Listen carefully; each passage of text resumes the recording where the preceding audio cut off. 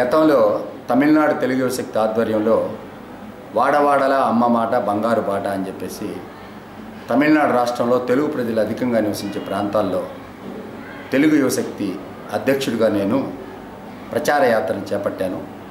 అందులో భాగంగా మొట్టమొదట నా ప్రచార యాత్ర చెంగాలమ్మ గుడి నుంచే మొదలైంది.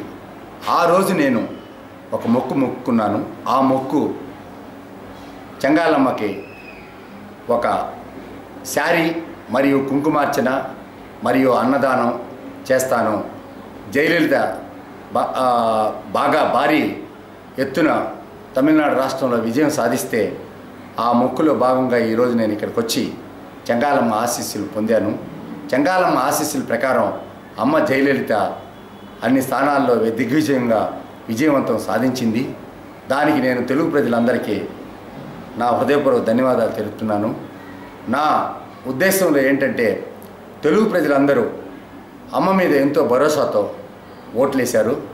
ఎందుకు వేశారంటే తమిళం చదువుకుంటేనే ఉద్యోగం అదే కాకుండా ఆంధ్ర భవన నిర్మాణం అదే కాకుండా తెలుగు అకాడమీ నిర్మాణం తదితర సమస్యలన్నీ ఆమె ముందుంచితే ఆమె స్పందించి తెలుగు ప్రజల సమస్యలన్నీ ఎలక్షన్ తర్వాత తీరుస్తానని ఒక భరోసా ఇచ్చింది కాబట్టి తెలుగు ప్రజలు ఆమెకి అత్యధికమైన స్థానాల్లో గెలుపొందుటకు కారణమయ్యారు ఈరోజు.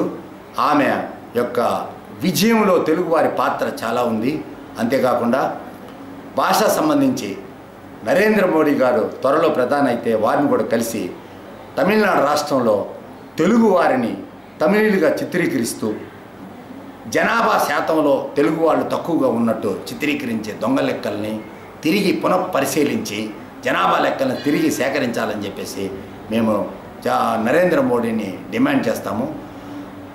రెండు రాష్ట్రాలుగా ఏర్పడిన తర్వాత ఈ ఆంధ్ర రాష్ట్రానికి మొట్టమొదటిగా ముఖ్యమంత్రి అవుతున్న చంద్రబాబు నాయుడు గారిని కూడా కలిసి ఆయన ఒక తెలుగు ప్రజా ప్రతినిధిగా ఈ దేశంలో ఉన్న తెలుగు ప్రజలందరికీ ఆయన ఒక ప్రతినిధి కాబట్టి అన్ని రాష్ట్రాల్లో ఉన్న తెలుగు ప్రజలందరికీ సమస్యలను కూడా మీరు మా ఎన్నంటి ఉండి మా సమస్యల పరిష్కారం కోసం నిరంతరం కృషి చేయాలని కోరుతాము.